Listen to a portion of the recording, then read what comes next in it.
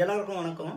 இந்த particular video கிளிப்பில் நான் பிறந்து வளர்ந்த ஒரு இடத்துல இருந்து ஒரு பெண் தெய்வம் உலகம் ஃபுல்லாக பரவி இருக்காங்க. உதாரணத்துக்கு சிங்கப்பூர் மலேசியா மொரிசியஸ் ஃபிஜி போன்ற நாடுகளில் இவங்களுக்கு கோயில் இருக்குது ஆனால் அன்ஃபார்ச்சுனேட்லி இந்தியாவில் கோயில் கிடையாது.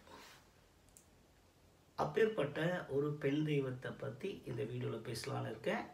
அதுக்கு முன்னாடி இந்த வீடியோ வந்து இந்து மதத்தோடையும் இந்து மதம் சார்ந்த தெய்வங்களோடையும் தொடர்புடைய வீடியோ. அதனால் இதை பற்றிலாம் உங்களுக்கு தெரிஞ்சுக்கணும்னு அவசியம் என்னென்னா இதுக்கு மேலே இந்த வீடியோவை பார்க்கவோ கேட்கவோ வேண்டாம். சென்னையில் கொண்டித்தோப்பு அப்படின்ற ஒரு பகுதி. இது வந்து அந்த காலத்தில் மின்ட்டு தங்க சாலைன்னு சொல்லப்பட்ட இடம் பணம் பண்ணுற இடம் மின்ட் பண்ணுற இடம். இப்போ வந்து வள்ளலார் நகர்னு பெயர் மாற்ற பெற்று இருக்கு அந்த இடம்தான் நான் வந்து ஏழு வயசு வரைக்கும் பிறந்ததுலேருந்து ஏழு வயசு வரைக்கும் அந்த ஏரியாவில் தான் வளர்ந்தேன். அங்கே இருக்கிற ஒரு பள்ளிக்கூடத்தில் தான் எல்கேஜி ஃபஸ்ட் ஸ்டாண்டர்ட் இதெல்லாம் படித்தேன் அந்த ஊரில் ஆயிரத்தி நானூற்றி ஆறாம் வருடம். அதாவது thousand four hundred and six AD அந்த பீரியடில் ஒரு அம்மா பிரசவத்துக்கு எல்லாம் பெயர் பெற்றவர்களாக திகழ்ந்தார்கள். அந்த அம்மா போனாக்கா சுகப்பிரசவம். பிரசவம் பார்க்குற வைத்தியச்சி அப்படின்ற பேரும் அவங்களுக்கு அந்த காலத்தில் இருந்தது. அவங்களுடைய இயற்பெயர் என்னன்னு தெரியாது. அந்த அம்மாவுடைய புகழ் அப்போ அந்த ஏரியாவில் ரொம்ப பாப்புலராக இருக்குது அப்போது ராஜ நாராயண சம்புவராயர் த்ரீ மூன்றாம் ராஜநாராயண சம்புவராயர் என்கின்ற ஒரு ராஜாவுடைய புதல்வன் வல்லாளன் இவன் வந்து நான்காம் வல்லாளன். அவன் பீரியட் வந்து one four zero six AD அந்த பீரியடில் அவனுக்கு போரில் அவன் தோல்வி அடைஞ்சி திரும்பவும் எப்படியாவது சண்டை போட்டு நம்ம ஜெயிக்கணும்னு காட்டுப்பகுதியில் ஒளிஞ்சிக்கிட்டு இருக்கான். அந்த நேரத்தில் அவன் மனைவி கார் குடலி. அந்தம்மா புள்ளத்தாச்சியாக இருக்காங்க. இவன் காட்டுக்குள்ளே இருந்தவன் என்ன யோசித்தான்னா நம்மளால் வந்து நேரடியாக சண்டை போட்டு இந்த ராஜாவை ஜெயிக்க முடியாதுன்னு அந்த நாட்டில் கொள்ளையடிக்க ஆரம்பிக்கிறான். திருட்டு பயிலாக மாறிட்டான். போய் நாட்டை ஃபுல்லாக கொள்ளையடிக்கிறது. இந்த கொள்ளையடிக்கிறவனை கண்டுபிடிச்சி கொடுத்தாக்கா சன்மானம் எல்லாம் கூட அந்த காலத்தில் ராஜா அறிவிச்சிருந்தார். அப்பேற்பட்ட அந்த கொள்ளக்காரனான ராஜா அவன் மனைவிக்கு பிரசவம் பார்க்கணுமேன்றதுக்காக பிரசவ வழி வந்த உடனே இந்த அம்மாவை கூட்டிக்கிட்டு காட்டுக்குள்ளே வரான். ஆனால் இவனுக்கு ஒரு ஜோதிடர் என்ன சொல்லியிருக்காருன்னா உன் குழந்தை பிறக்கும்போது அதோடைய கால் வந்து பூமியில் படக்கூடாது. அதே மாதிரி அந்த குழந்தை அப்படி கால் படாமல் பிறந்துருச்சுன்னா அதை நீ பலி கொடுத்துரு. அந்த குழந்தையை யார் தொட்டாங்களோ அவங்களையும் கொண்டுடு அப்போ உனக்கு திரும்பவும் இந்த நீ ராஜாவா ஆகிறதுக்கான எல்லா வாய்ப்பும் இருக்குன்னு சொல்லி சொல்லி வச்சிருக்கோம் அதனால் இவன் மைண்டில் என்ன பிளான்னா இந்த அம்மாவை கூட்டிகிட்டு போகிறது குழந்தையுடைய பாதம் தரையில் படாத அளவுக்கு பிள்ளையை பெற்றுக்கிறது அதுக்கப்புறம் குழந்தையும் இந்த அம்மாவையும் கொண்டுணும் இதுதான் அவனுடைய எண்ணம். இன்னமும் போகிறாங்க அது காட்டு பகுதி ஸோ அவங்கக்கிட்ட சரியான வசதிகள் இல்லை குழந்தைய பிறக்க வைக்கிறதுக்கு. அதனால் என்ன பண்ணுறாங்கன்னா அந்த ராணி உடைய உடம்பை எடுத்து மடியில் படுக்க வச்சுக்கிட்டு ராணி சொல்லக்கூடாது இப்போ அந்த திருடனின் மனைவியான கார்குழலியை மடியில் படுக்க வச்சு அந்த வயத்த கீரி சிசரின் அந்த குழந்தைய கையில் எடுக்கிறாங்க. கால் தரையில் படாத அளவுக்கு. உடனே வந்து இவன் என்ன பண்ணுறான் அந்த குழந்தைய கொல்ல போகிறான் யார்? வல்லாளன் நாள் இந்த அம்மா ஏற்கனவே கொஞ்சம் சண்டை பயிற்சியெல்லாம் கற்றுக்கிட்டு இருந்தவங்க. அதனால் இவங்க வந்து என்ன பண்ணுறாங்கன்னா அவனோட சண்டையிட்டு அவனை தாக்க முற்படும் போது இந்த ராணி தடுக்கிறாங்க இந்த பாட்டியை இந்த அம்மாவை. அதனால் ராணி மேலேயும் கோபம் கொண்டு அந்த ராணியும் கொன்று அவனையும் கொன்று அந்த குழந்தைய பத்திரமா அவங்களே சீராளன் அப்படின்னு பேர் வச்சு வளர்க்குறாங்க கொண்டித்தோப்பு. நாளடைவில் இந்த அம்மாவுடைய புகழ் ரொம்ப பரவ ஆரம்பிச்சிருச்சு. ஏன்னா ராஜாவுக்கு தெரிஞ்சு போச்சு இந்த நம்ம நாட்டை சூறையாடி கொண்டிருந்த கொள்ளையனை கொண்டது ஒரு பெண்ணுன்னு இந்த அம்மாவுக்கு பெயர் புகழ் செல்வாக்கு எல்லாம் வருது.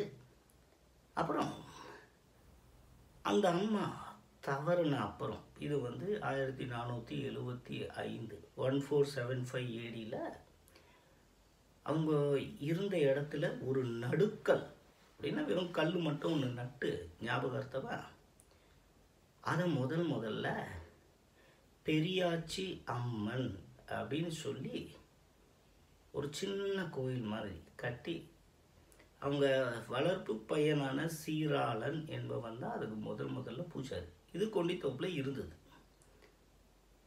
அதுக்கப்புறம் பார்த்தீங்கன்னா காலப்போக்கில் அரசாங்கம் வந்து சில சலுகைகள் எல்லாம் வழங்கணும் அப்படின்னு சொல்லிட்டு முக்கால்வாசி பெண் பெண்கள் உயிரோடு வாழ்ந்தவங்க. அவங்கள தவறுனதுக்கு அப்புறம் தெய்வமாக வழிபட்ட இடங்களை எல்லாம் அம்மன் அம்மன் அம்மன் ஒரு பேரை சேர்த்து இல்லை சக்தியோட தொடர்பு பண்ணி இல்லை காளியோட தொடர்பு ஏற்படுத்தி அந்த கோயிலில் பேரடையாளம் தெரியாத அளவுக்கு மாற்றிட்டாங்க இப்போ கொண்டித்தோப்பில் பெரியாச்சி அம்மனுக்கு கோயிலே கிடையாது. ஆனால் அந்த காலத்தில் அவங்க அவங்க இறந்து கொஞ்சம் நாளையில் கேரளாலையும் ஆந்திர பிரதேஷ்லேயும் கோயில்கள் கட்டப்பட்டன இவங்க பேரில். இன்றைக்கும் வந்து ரெண்டே ரெண்டு இடம் தமிழ்நாட்டில் திருவாரூர் மற்றும் திருவண்ணாமலை கோயில்களில் இவங்களுக்கு ஒரு சின்ன சந்நிதி ஓரமாக இருக்கும் அவ்வளோதான் ஆனால் இப்பேற்பட்டவங்களுடைய புகழ் கடல் கடந்து முதல் முதல்ல மலேசியா நாட்டில் இந்த அம்மாவுக்கு ஒரு கோயில் கட்டுறாங்க. அந்த கோயில் தேவி ஸ்ரீ பெரியாச்சி அம்மன் அப்படின்னு பெனாங்கில் இருக்குது இது வந்து மலாக்கா செட்டி அப்படின்னு சொல்கிற ஒரு வணிகர் சமூகம். முதல் முதல்ல இந்த அம்மாவுக்கு கோயில் கட்டினாங்க வெளிநாட்டில். அதுக்கப்புறம் சிங்கப்பூரில் வீரமாகாளி அம்மன் கோயில்லையும் மாரியம்மன் கோயில்லையும் இவங்க வந்து செகண்டரி டெய்டின்னு சொல்கிற அளவுக்கு மூலவருக்கு அடுத்து முக்கியமான ஒரு சாமியாக இந்த கோயிலில் இருக்காங்க. அப்புறம் மொரிஷியஸ் ஃபிஜி போன்ற நாடுகளில் இன்னமும் இவங்களுக்கு கோயில்கள் இருக்குது இந்த அம்மாவுடைய ஸ்பெஷாலிட்டி என்ன அப்படின்னா இவங்க மருத்துவச்சியாக இருந்ததுனால பிரசவமெல்லாம் நிறைய பார்த்ததுனால நான்கு விதமான வேண்டுதல்கள் இவங்களுக்கு பொதுமக்கள் வைக்கிறாங்க. ஒன்று கல்யாணம் ஆகி ரொம்ப நாள் ஆகி குழந்தை இல்லாதவங்க இவங்க கோயிலுக்கு போய் வேண்டிக்கிறாங்க. அதே மாதிரி குழந்தை தங்கின உடனே சில வேண்டுதல்களை வந்து நிறைவேற்றுறாங்க ஏன்னா குழந்தை நல்லபடியாக பிறக்கணும் இல்லையா? மூணாவது அந்த குழந்தை பிறந்து ஏழாவது நாள் அந்த குழந்தைய கொண்டு வந்து அந்த அம்மாவுடைய சந்நிதியில் விட்டுட்டு கொஞ்ச நேரம் ஒதுங்கிடுவாங்க. ஏன்னா அது சாமி கொடுத்த குழந்தை சாமியே பார்த்துக்கணும். அடுத்து நாலாவது உடல் நலம் பாதிக்கப்பட்ட பிள்ளைகள். அவங்களையும் இங்கே கொண்டு வந்து பெரியாச்சி அம்மன் முன்னாடி படத்தை வச்சு சில பூஜைகள் செஞ்சு நம்பிக்கையோட சில தானங்களும் செய்கிறாங்க இது இன்று வரைக்கும் மலேசியா மற்றும் சிங்கப்பூரில் சிறப்பாக நடந்துக்கிட்டு இருக்குது தமிழ்நாட்டில் இதெல்லாம் கிடையாது.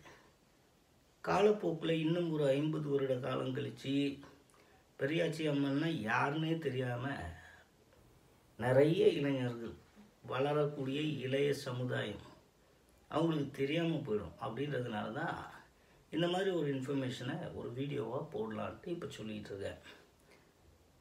ஸோ அடுத்த முறை நீங்கள் பெரியாச்சி அம்மன் அப்படின்ற ஒரு பேரை எங்கே பார்த்தாலுமே உங்களுக்கு இந்த கதை ஞாபகம் வரும். அந்த அம்மா என்ன செஞ்சாங்க? அவங்களுடைய வரலாறு. இது எல்லாமே உங்களுக்கு தெரிய வரும். ஒரு கடவுளை கும்பிட்றோம்னா அந்த கடவுளுக்கு என்ன சக்தி? அதுக்கு என்ன முக்கியத்துவம்? அது என்ன நம்ம கேட்டால் நமக்கு அது கொடுக்கும். அதை எப்படி நம்ம கேட்கணும்? இதை நானும் தெரிஞ்சுக்கிட்டிங்கனாவே இறைவனையும் தன்வயப்படுத்தலாம் நம்ம வசதிக்கு. புரியுதுங்களா? ஸோ குழந்தை இல்லாதவங்க குழந்தை தங்குனவங்க ஆனால் குழந்தை நல்லபடியாக பிறக்கணும்னு விரும்புகிறவங்க மூணாவது உடல் நலமற்ற குழந்தைகள். அப்படி உங்களுக்கு ஏதாவது ஒரு சிக்கல் இருந்ததுன்னா அடுத்த முறை நீங்கள் பெரியாச்சி அம்மன் கிட்ட போய் வணங்கிட்டு வருவது ரொம்ப ரொம்ப நல்லது. இதுதான் இந்த பர்டிகுலர் வீடியோவில் சொல்ல வந்தேன். இதுக்கு அடுத்த வீ வீடியோவில் குழந்தை பிறந்து பேச முடியாமல் தவிக்கின்ற சில பிள்ளைகள். ரெண்டு வயசு ரெண்டரை வயசு. அப்புறம் திக்குவாய் இருக்கிற மக்கள். மற்றும் பேச்சாளர்கள் ஆனால் பேசுகிறதுக்கு தயக்கமுடையவர்கள் சிறப்பாக பேசக்கூடிய ஒரு கோயில் ஒரு அம்மன். அதை பற்றி அடுத்த வீடியோவில் சொல்ல போகிறேன் அவங்க பேர் பேச்சி அம்மன் பேச்சி அம்மன் வேறு பெரியாச்சி அம்மன் வேறு. இதை க்ளீனாக இந்த வீடியோவில் நான் சொல்கிறேன் நீங்கள் வந்து கூகுளோ இல்லை வேறு எங்கேயாவது சர்ச் இன்ஜினில் பேச்சி அம்மன் சர்ச் பண்ணாலும் பெரியாச்சி அம்மன் தான் வருவாங்க. ஆனால் பெரியாச்சி அம்மன் கதை இதுதான். ஓகே ஸோ இந்த பர்டிகுலர் வீடியோவில் உங்களுக்கு ஏதாவது கொஷின்ஸ் இருந்ததுன்னா எனக்கு ஒரு மெசேஜ் இமெயிலில் அனுப்பலாம். இல்லை இந்த வீடியோவுக்கு ஒரு கமெண்ட்டாக போடுங்க. நான் டெஃபினட்டாக அதை பார்த்தேன்னா பதில் சொல்கிறேன் இதான் இந்த வீடியோவில் சொல்ல வந்தேன் நன்றி வணக்கம். Please do take care